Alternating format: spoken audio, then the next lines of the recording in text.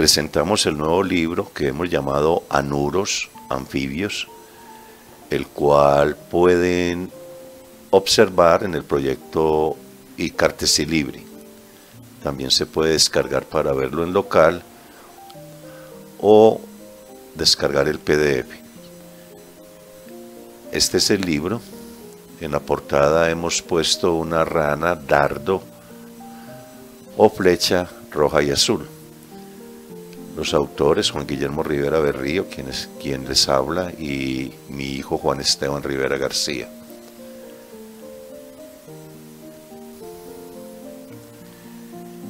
En el prefacio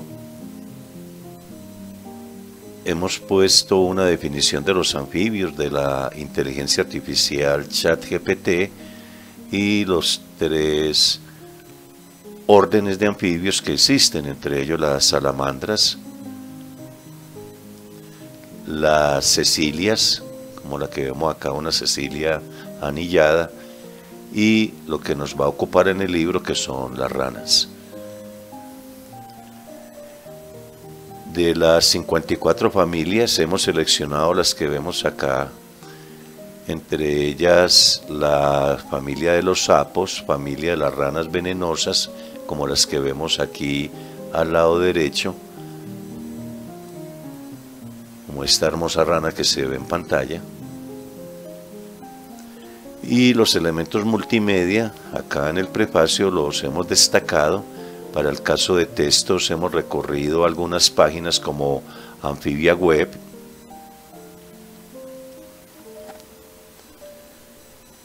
la cual presenta bastante información, tanto en imágenes, audios, videos y texto. Atlas Animal Británica, esta es una página de Australia con 284 especies de ranas esta otra página bastante interesante que muestra también familias, géneros, especies con algunas imágenes, audios y texto.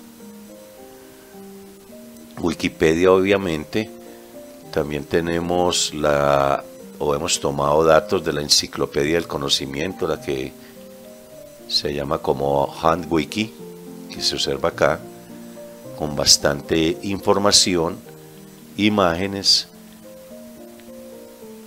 que nos han ayudado a construir el libro. La mayoría de los textos los hemos sacado tanto de HandWiki como de Wikipedia, que tiene licencia Creative Commons. En imágenes hemos recurrido a varias a varios recursos, por ejemplo, Platicon para las imágenes que adornan las listas como las que vemos acá, inteligencia artificiales como Lexica y, y PickFinder. Esta es bastante interesante. Por ejemplo, le vamos a pedir que nos genere las siguientes imágenes. Por ejemplo, le vamos a pedir que nos dibuje una rana roja sobre la rama de un árbol. Miremos a ver qué... Ah, bueno, y también vamos a decir que, que tenga un formato tipo caricatura. Veamos a ver qué nos genera. Entonces observemos las ranas rojas que nos van a permitir adornar el libro como lo vamos a ver más adelante. Le vamos a decir exactamente lo mismo en la opción generar imagen. Aquí nos generó, cuatro imágenes de, una calidad superior obviamente a la de PickFinder pero solamente son cuatro mientras que PickFinder nos genera muchas más imágenes hemos encontrado imágenes también en Pixabay, en Pexels, en, el mismo Wikimedia, HandWiki pero donde más hemos tomado imágenes es de iNaturalist.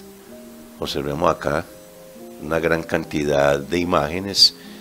Podemos filtrar solicitándole, por ejemplo, que, que la licencia de las imágenes que necesitamos es, por ejemplo, CC BY NC. Eso significa que hay que dar los créditos y que no sean comerciales. O BYSA, que también hay que dar los créditos al autor y la posibilidad de hacer modificaciones. En fin, cualquiera de estas, normalmente hemos usado esta, puesto que no vamos a modificar las imágenes, las vamos a tomar tal cual se presentan acá, eh, que son, como lo indican acá, más de 3.857 especies que están registradas en iNaturalis. Entonces también hemos utilizado de allí, digamos que la mayoría de las imágenes, videos de YouTube, Excel o Pixabay, también con licencia Creative Commons, audios, como el que se escucha acá, correspondiente a la rana dardo venenosa verde y negra, la verde y negra también. Aquí tenemos un ejemplo de una imagen tomada de Pexels. Y este es el capítulo 1, ranas chillonas. Las ranas, o cada capítulo mejor, lo hemos adornado con una imagen de, bien sea de Pathfinder o de Léxica, va a tener una introducción con alguna inteligencia artificial, por ejemplo aquí la tenemos con Notion. En cada capítulo pondremos un audio de alguna de las especies de esta familia o de las familias que se tratan en el capítulo. Aquí empezamos con algún género o a veces con una especie en particular y en cada capítulo tenemos objetos interactivos diferentes. Por ejemplo, para este capítulo hemos seleccionado los puzzles de intercambio de piezas, como lo que vemos acá. Ahora, si no quieren hacer el puzzle, se puede ver la imagen. Por ejemplo, acá podríamos ver la imagen y con base en la imagen dibujar el puzzle. O mejor armar el puzzle. En la mayoría de las colecciones de fotos de cada capítulo siempre procuramos tener una imagen que de referencia que nos muestre qué tan pequeña eh, son estas ranas. La mayoría de ellas son ranas pequeñas, como la que vemos acá posada sobre los dedos en la foto más fotos de las ranas chillonas, diferentes especies.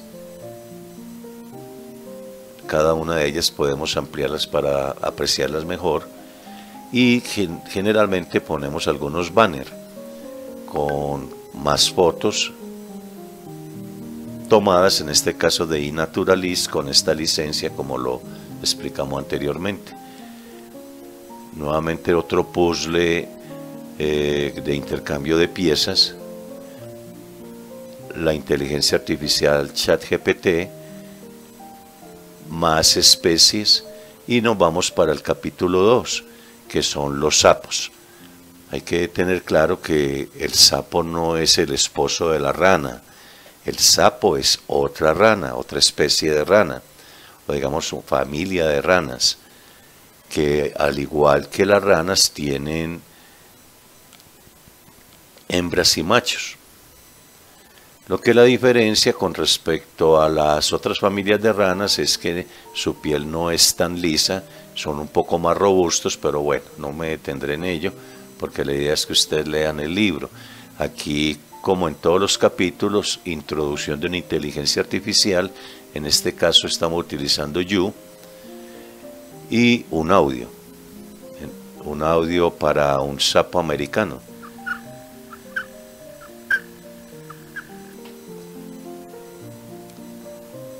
Aquí iniciamos con el género Anaxirus y el objeto interactivo que utilizamos acá es una galería de imágenes, que es esta, la cual podemos en cualquier momento seleccionar una imagen y mirarla en forma ampliada o en tamaño completo. Otro género, más galerías de imágenes. Y aquí terminamos con los sapos. En este capítulo 3 tratamos las ranas de cristal, hermosas ranas. aquí el Pickfinder nos generó esta imagen. Le explicamos que eran imágenes de cristal. Lo que hizo fue ponerlas en una especie de compartimiento de cristal. Nuevamente la inteligencia artificial, un audio. Y las ranas de cristal, para los que no lo sepan, tiene una característica especial, que efectivamente son transparentes. Observen cómo se aprecia el corazón.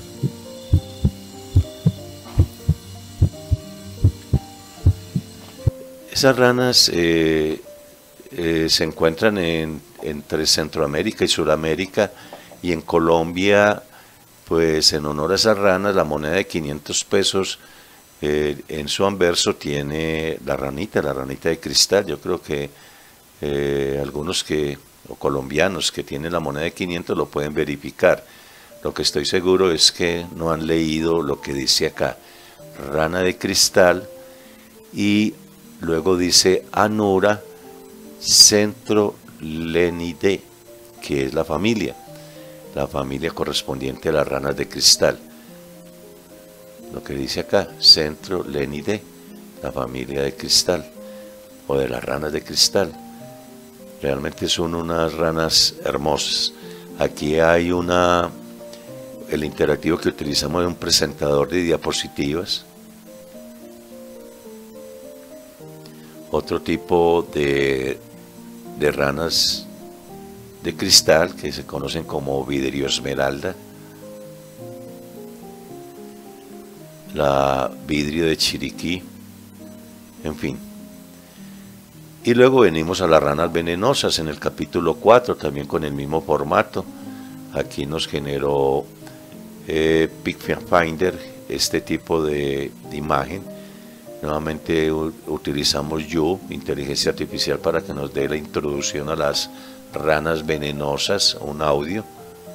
Aquí al lado izquierdo vemos algunas fotos de la rana dorada venenosa, endémica de Colombia, considerada el animal más tóxico y venenoso del mundo pero hermoso, el animal es hermoso. Tanto que aquí como interactivo lo que hemos puesto es un puzzle animado, hay que armar la animación.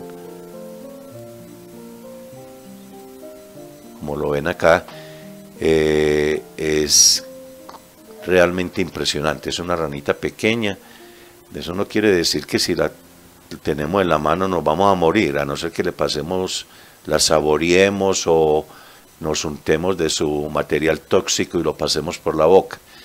Lo cierto es que esta ranita, los indios o los indígenas de un, del departamento del Chocó en Colombia, como los Embera, pasaban las puntas de la flecha por el lomo de la rana para envenenarlas. De ahí viene el nombre de rana venenosa.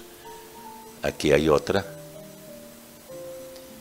la flecha roja y azul que es la que ponemos en la portada del libro, también aquí tenemos la verdinegra acompañada de la, de la rana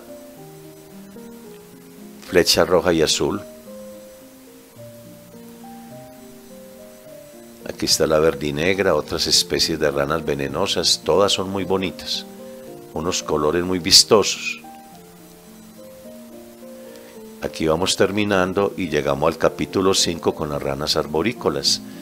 Le pedimos a, a Pickfinder que nos generara unas ranas sobre las ramas de un árbol. Esto fue lo que nos mostró. Nuevamente una inteligencia artificial como Notion para la introducción. En este caso, para este capítulo, estamos utilizando eh, puzzles de arrastre, más banner con las imágenes de la rana otro puzzle de arrastre y terminamos ese capítulo para llegar a las ranas asiáticas.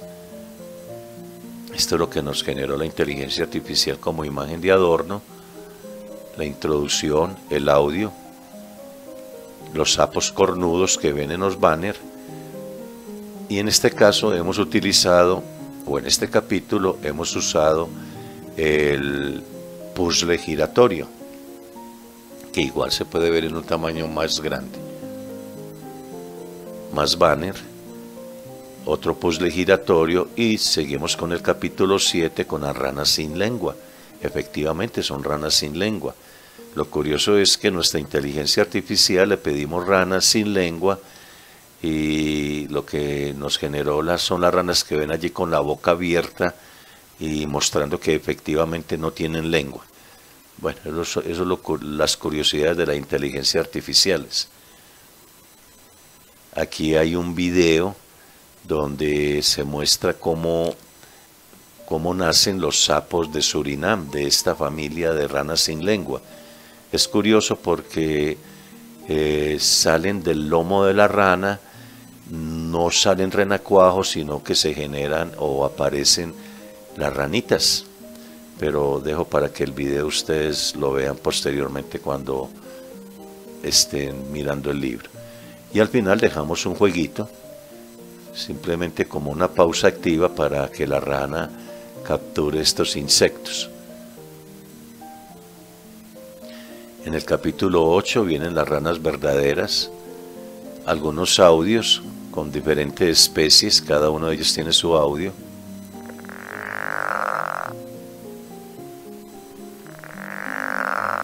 Esa es la rana de pantano. La rana toro es muy especial, es de las, digamos, de las ranas más grandes. Esas sí no caben en, el dedo o en la uña de un dedo como como lo hemos visto en otras y tiene una se llama rana toro es porque el ruido que producen o el sonido que producen es como el mugido de un toro. Escuchemos. Pero lo interesante es que al final eh, de este video eh, la rana produce un sonido bastante lastimero o digamos que trata con ese con el sonido de ahuyentar a sus enemigos.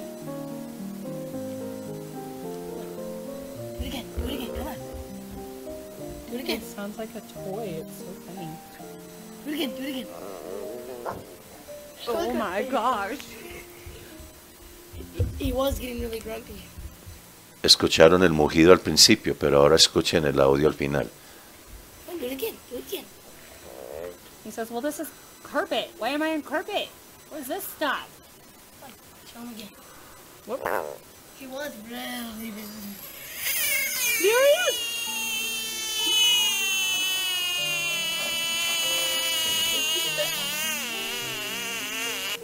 Bastante impresionante. Es un video tomado de YouTube con licencia Creative Commons. Aquí ya utilizamos eh, puzzles giratorios, pero ya de 24 piezas, 8 más que la de los puzzles anteriores.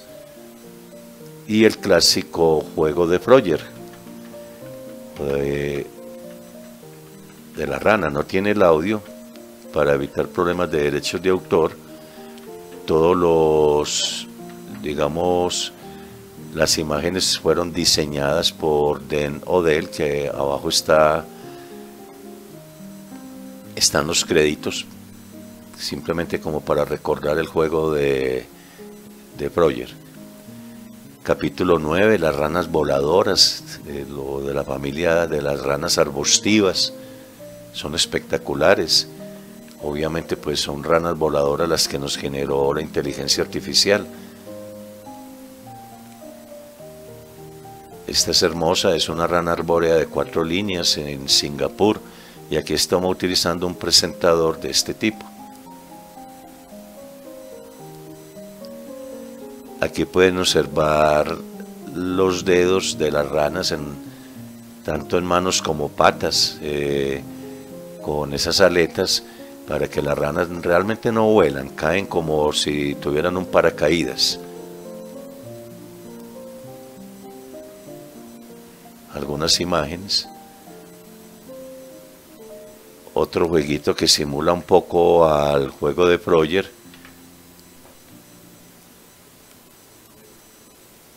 Y terminamos con eh, las ranas de juncos o de juncia.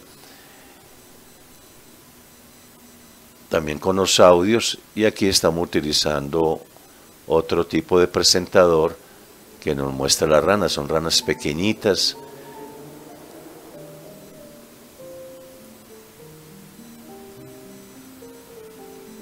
como se aprecia en esta foto. Más imágenes de ranas de junco. Esta es la rana de caña africana, tiene unos colores muy bonitos. Aquí hay una, un video más presentadores. Y aquí terminamos el libro. Espero que lo disfruten, lo lean y aprendan un poco de, de estos pequeños animales que son maravillosos. Eso es todo. Hasta pronto.